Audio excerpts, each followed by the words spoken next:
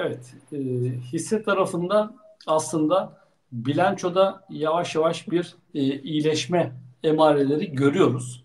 E, fakat e, ben bunun çok da fazla fiyatlamaya e, yansı fiyatlara yansım, yansıyamadığı e, kanaatindeyim. Özellikle de e, bu hisse senedi yani buradaki grafikten de anlaşılacağı gibi e, 200 ve 60 günlük ortalama e, geçtiğimiz haftalarda e, çarpışmış. Ve uzun zamandır bu iki ortalamanın üzerinde hareket ediyorduk. Yani 5.50 seviyesi. 5.50 seviyesinin üzerinde arkadaşlar burada yani en azından burada bir hisseyi nasıl analiz etmemiz gerektiği konusunda da ben bir küçük bir e, analiz çalışması olsun, teknik analiz çalışması olsun. E, şimdi ortalamanın üzerinde kalabiliyor olması aslında e, hissedeki e, gücü gösterir. Ve orada e, 60 ve 200 günlük ortalamanın geçtiği böyle 5.55 seviyesinin üzerindeyken e, burada 5.90'lara doğru yaklaşan kapanışlar yapması e, geçtiğimiz haftalarda hissede biraz heyecan yarattı e, ve acaba yukarı kırılma olabilir mi? Yukarı doğru bir 5.90 kırılırsa e, yükseliş başlar mı şeklinde e, bir e, çok fazla soru gelmeye başlamıştı.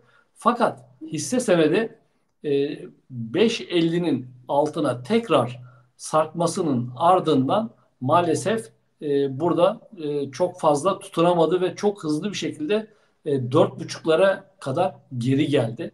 Yani e, bu trend şu anda e, bozulmuş durumda. Yani, e, yani bu haftalar öncesi aslında e, bozulmuştu. Özellikle de e, 5.50'nin altına inmi, indiği andan itibaren e, açıkçası bu hissedeki o heyecan bitti arkadaşlar. Yani ben açıkçası bundan sonraki e, süreci söyleyeyim. E, ya dip arayışını devam ettirecek ya da e, burada en önemli destek 4.30 seviyesi e, ya da e, buralardan e, yatay hareketle birlikte bir tepki yükselişi görebiliriz. E, o da endekse e, e endeks yükselirse yani e, endekse şu anda paralel hareket ettiğine göre e, ancak endeksteki bir yükseliş hareketinde e, biz buradan umut bekleyebiliriz ama bu bakın tepki arkadaşlar. Yani burada e, taşıyıcı olduğunuz zaman e, maalesef e, her gün biraz daha e, zorluklarla karşılaşabiliriz. Yeni dipleri de görme ihtimalimiz olabilir. E, o yüzden e, burada e, yani bir tepki olabilir. Onun içinde 5'in ancak kırılması gerekiyor. 5 kırılmadığı sürece ben açıkçası biraz daha uzaktan izleme taraftarıyım.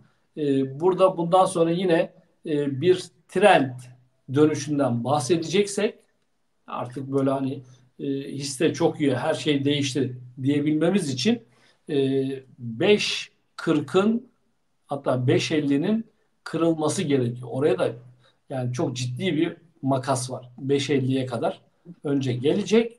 Ondan sonra yeni bir e, zirve hareketi ne doğru yani yukarı yönlü bir trend başlatacak. Şu anda bu hikaye çok zayıf bir hikaye. Onu söyleyeyim. O yüzden biraz e, sadece izleyeceğiz. Yani yeni pozisyonlanma için e, çok aceleci olmamak lazım. Belki 5 kırılırken denenebilir ama oradan da emin değilim. E, orada da e, ciddi bir para girişinin olması lazım.